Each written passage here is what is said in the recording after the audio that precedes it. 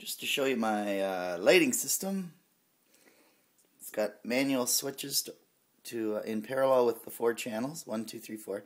It's got a couple of spotlights and a strobe light over there and a master kill switch over there. Um, and it's controlled by the keyboard. Here I've got a MIDI keyboard example. And I'll open it up. There, I opened it up. And on the back is the outlets. See them sort of there? Receptacles. Um, and my triacs are right there, four triacs. And there's the lighting control board. It's a circuit board that I bought, came from Ireland, cost about 40 bucks. And I've programmed it so that when I hit a C, it turns on one channel. You can hear the relay clicking. So C, D, E, F. So that's that's what I plug in, the blues, the reds, the yellows, and the greens.